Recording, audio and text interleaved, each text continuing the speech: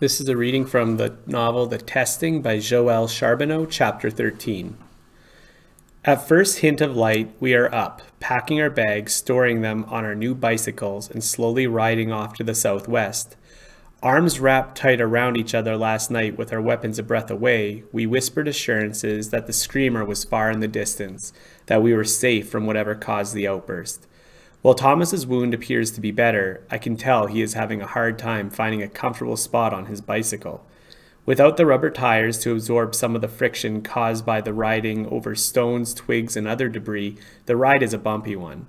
There are also more trees, bushes, and intact houses the farther we get from Chicago.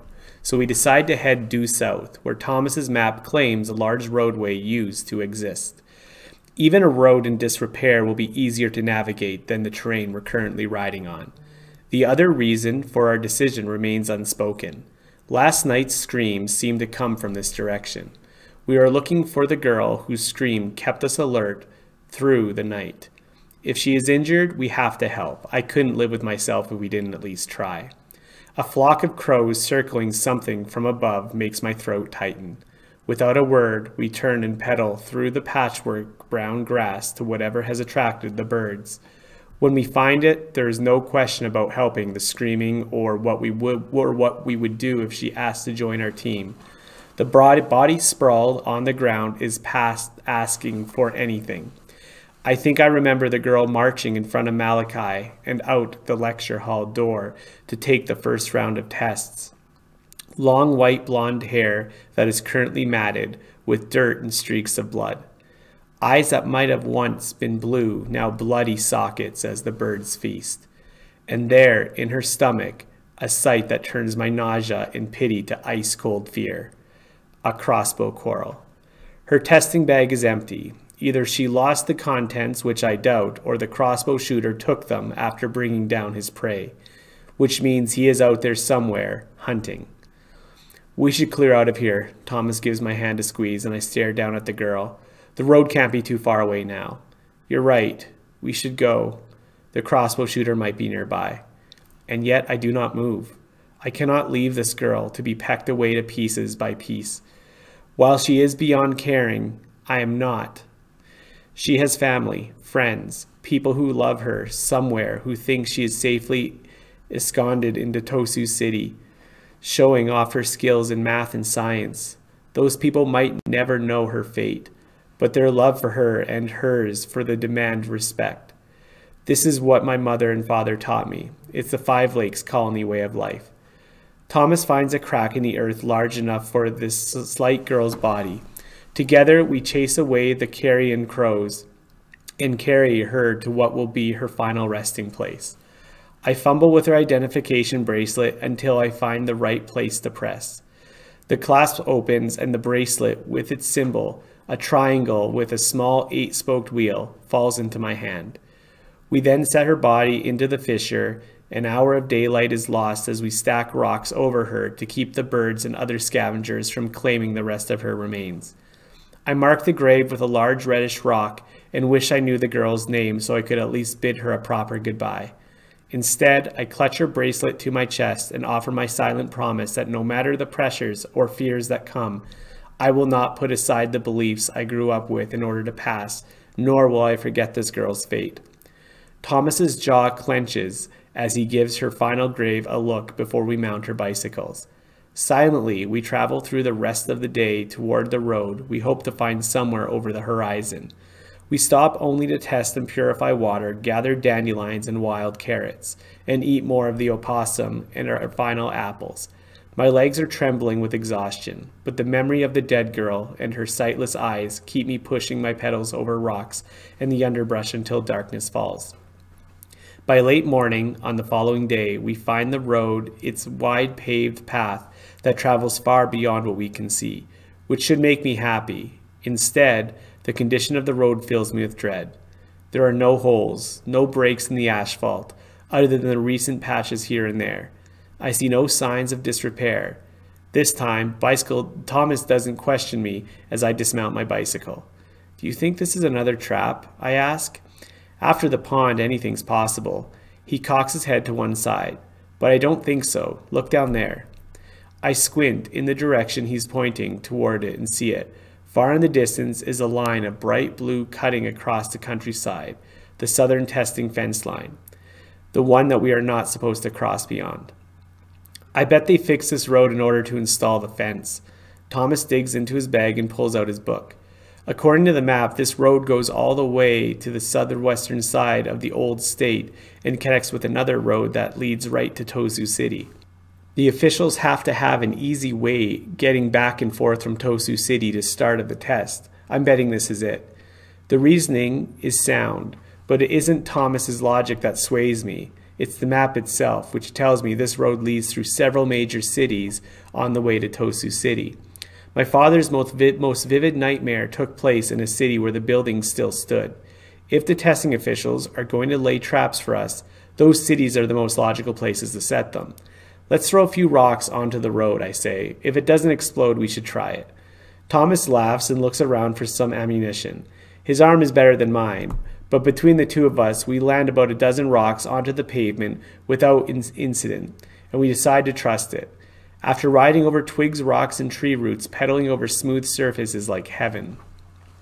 After the horror of burying the unnamed girl, I'm glad for the wind and the sun on my face, the freedom of riding fast. No matter the daunting number of miles that we still have to cross, I'm glad to be alive.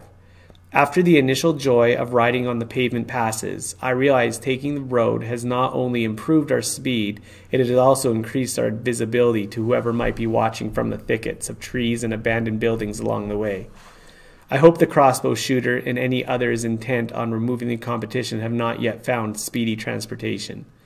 We ride over a long bridge that spans a wide Opak river, and I suggest we camp near the water for the night. It's earlier than normal than we make camp, but I am dirty, my hair is matted with grime and sweat, and my legs are starting to cramp. The abundance of water means an opportunity to feel clean for the first time in days. It's also a good place to forage for food and maybe even trap game. Thomas is more than willing to stop, especially when he checks Zeen's device and sees we've traveled just over 45 miles in a single day. We are now a seventh of the way to Tosu City. While it's still far, the bicycles and the road we travel give us both a more optimistic view of this test. The river, like all untreated water sources, is tainted, but one look into the swirling waters tell us that at least some species of fish have adapted to the contaminants. While the contaminants make it dangerous to eat the fish raw, a pan and a fire will make them more than edible. I roam the banks of the river gathering plants for dinner while Thomas attaches a hook from his toolkit to a braided strip of sheet. He goes fishing, using the last bits of our opossum as bait. By the time I return with a pot filled with wild onions, pickleweed, and cattail roots, Thomas has caught and cleaned three medium sized fish, two catfish, and one that looks similar to a wide mouthed bass we catch near home. We boil the cattail roots and pickleweed fry, and wild onion and fish and have a feast. With the sun still an hour or two from setting, I decide to wash. Our tests have determined the water contaminant is mild and won't affect skin on contact, so I strip down to my undergarments and wade into the cool water. The current is surprisingly strong. I don't venture far from the bank as I scrub the mud, dust, and sweat from my body and the clothes I've been wearing for the past few days. When I climb out, I give myself a few minutes to air dry before pulling on the second set of clothing and hanging the wet ones over a tree branch to dry. I'm about to call Thomas that I'm finished my, with my bath when I see him still and quiet, positioned behind a clump of bushes on the hill that leads to the road.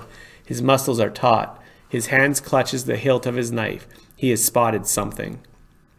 Gripping my handgun, I'm careful to step softly, avoiding the rocks and branches, keeping to the grassy patches that will deaden my tread. Thomas jumps as I touch his shoulder, but, he, but then he points far down the road in the direction we have already traveled.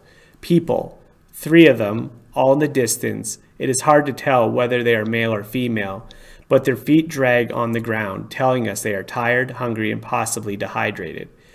Even with the slow pace of the three, we'll be here before the sun sets. Do you want to pack up and move farther away from the road, or should we stay put and see if they notice us? Thomas asks. What do you think? Thomas frowns. They look pretty tired to me. If I didn't know about our crossbow friend, I'd say to flag them down and see if we can help. They won't expect us to travel with them since they're on foot and we're on bicycles. Still, I can't finish his thoughts. There are candidates out willing to shoot, to kill, to get a passing grade on this test no matter the cost. But we are not like them. As if to prove it, I say, why don't you catch a few more fish in case they make it this far before nightfall? They're going to be hungry. Thomas's eyes narrow as he studies the trio. After a moment, he agrees. There are five fish roasting over coals when the three candidates step off the bridge onto our side of the river. All three look vaguely familiar. One gangly, freckled, red haired boy, two girls. One is tall with olive skin and short dark hair. The other has long ash blonde hair and is several inches shorter. All three look as though they are ready to drop from exhaustion. Are you hungry? I ask, stepping out from my hiding place. Thomas is still behind the bushes with his knife poised in his hand. We agree that the trio might be more inclined toward aggression if they saw both of us.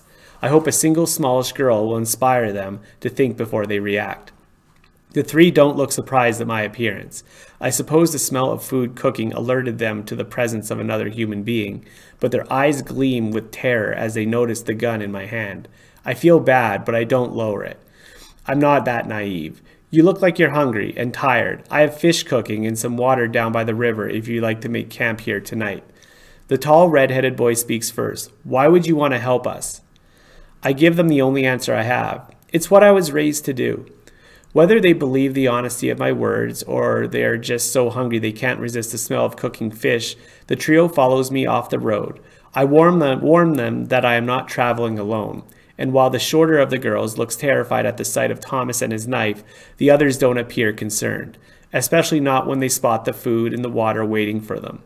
They keep their bags close at hand as they sit on the ground. The tall girl starts to cry when I say, Help yourself to the food. In between mouthfuls of fish, the tall girl tells us her name is Tracelyn. The other two are Stacia and Vic. All three are from Tulsa Colony.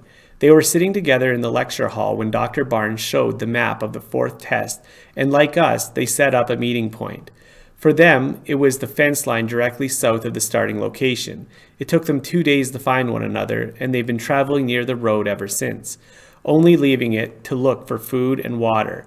Food has been scarce, and they haven't wanted to venture far from the road to find more familiar plant life. The road has been their greatest source of safety since they people can see coming and hide if necessary. We were hiding in an abandoned building when you rode past, Vic admits, taking another helping of fish. I thought you were miles and miles ahead, so it never occurred to me to look for bicycle tracks on the side of the road. I should have been more careful, but the smell of food distracted me. You guys seem to be playing things straight, but not everyone is. We know. Thomas meets Vic's eyes. The two seem to size each other up. Vic looks at the knife in the scabbard on Thomas's belt, at the gun resting in my lap, and nods. Someone took a couple pot shots at me while I was getting out of the city, he says. With a gun or a crossbow, I ask. Tracelyn's eyes widen. Someone is shooting at people with a crossbow? I just don't understand how anyone could do that kind of thing. I mean, the testing committee said they're going to evaluate us on the choices we make. That, that they can't possibly give someone a passing grade for shooting the competition. What kind of leader would that person be? A strong one. This from Stacia, who until now has sat cross-legged on the ground, eyes firmly fixed on her food. The fourth stage of war would never have happened if the President of the United States had attacked the Asian alliance. Instead, he tried to broker a worldwide coalition even when his own advisors said it was useless. He was a pacifist when the country needed aggression. Thomas shakes his head. Striking first would have guaranteed a strike by the Asian alliance. He knew the damage the first three stages of war had caused. He tried and head off what was certain would be the destruction of the world. Fat lot of good it did, Stacia laughs. Isn't that the point of the testing committee was making when they dropped us off of the destroyed cities? They're looking for candidates with a killer instinct. I don't believe that, I say.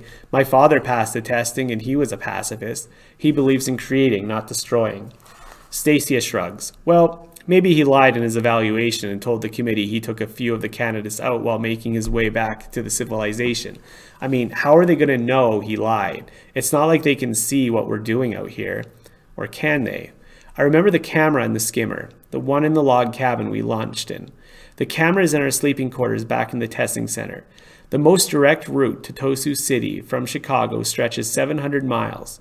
Thomas figures there is 20 or 30 mile stretch of land in between the fence lines.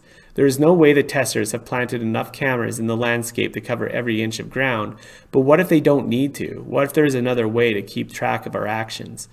The conversation shifts from the testing to, the, to talk of home. Thomas, Vic, and Tracelyn share information about our two colonies.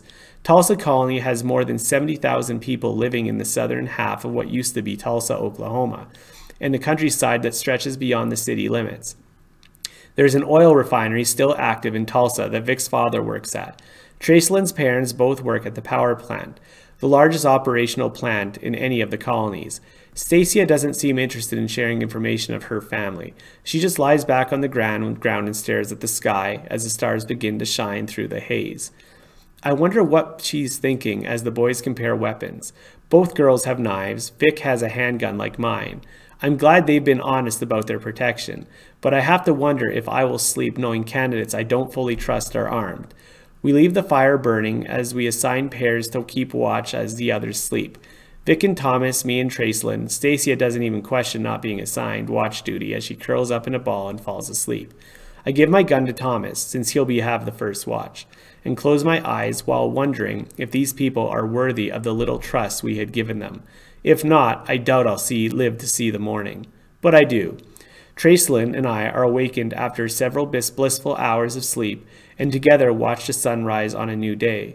In the peacefulness, I learn that she if she makes it to the university, Tracelyn wants to become a teacher. She's also in love with a boy back home and was planning on marrying him. He wasn't chosen for the testing, which means they will, will most likely never see each other again. You're both lucky that you and your boyfriend were chosen, she says with a quiet sincerity. Thomas isn't my boyfriend. I feel the blush on my cheeks. You could have fooled me. She gives me a wide smile. I think he's in love with you. He's just watching out for me, you know, since we're from the same colony. I say, but I can't help the thrill I feel the wor- at her words. Deep down, I hope she's right, because with every day that passes, I'm more certain that I'm falling in love with him. She changes the subject, and we talk about our families, the tests we've taken thus far, and the distance we will still have to travel in order to pass this test. She seems so genuinely sweet and a touch too trusting, which coming from me is saying something. I share experience with the clean pond of water and the perfectly green glades of grass that ultimately exploded. Whether or not she believes me, I know I've tried to keep her aware of the dangers out here. As the sun rises, so do our companions. Stacia sits far from us as we eat breakfast. Thomas and I barely rate a glance as we say goodbye and head out before the others can follow. We find a thicket where we hit our bikes, carry them to the road, and begin to pedal. As the miles pass, I cannot help to think of the candidates we left behind and wonder if they will cross the finish line. There's a quiet determination about Stacia that makes me think she'll make it, but something about her fierce smile and her logic she ascribes to the testing committee gives me a concern for her companions. As our bicycles eat up the miles, I think again about how the testing committee will evaluate us when we arrive back in Tosu City. From everything I've seen thus far, I cannot believe Dr. Barnes and the other officials would be content with candidates re- candidate reports on what occurred during the test, which means somehow we are being monitored. If not all the time, then off and on, enough for them to make their decisions. By the time we pull off the road and find the abandoned farm to make camp at, I'm certain I know how the testers are keeping track of us, but I'll have to wait and check my theory until we have settled in for the night. If I'm right, the testers will know if we deviate from a routine Thomas and I have set since starting our journey. There are clouds gathering to the west that indicate a storm is coming, and neither Thomas nor I have any interest in sleeping in a downpour. A faded gray wooden barn that tilts to the left catches our eye. Despite the leaning walls, the structure appears to be sound. We step into the barn and startle a group of wild chickens. Four gunshots later, we have three of them ready to be plucked and roasted. Their yields a nest yield four light brown eggs, which we will save for breakfast tomorrow. I try hard to act normal as we make the make and eat dinner, although Thomas shoots me more than one questioning look as we work. Finally, dinner is over as I store leftovers in my bag. I use the opportunity to dig for something else. The minute my fingers close over it, my heart skips in anticipation as I pull it out into the light. The identification bracelet I took from the girl we buried. Every testing candidate has one, two actually. Since a smaller band with our symbol is attached to our bags, we've all been instructed to wear them at all times. Since the clasps are hard to detect, I'm certain most testing candidates have heeded this rule. The bracelets are our identification. Could they also be in an invisible leash designed to tell the testers where we are and what we are doing? The bracelet is a quarter of an inch thick and made with a silver metal. The disc affixed to the top contains an etching of the testing candidate's design and the back.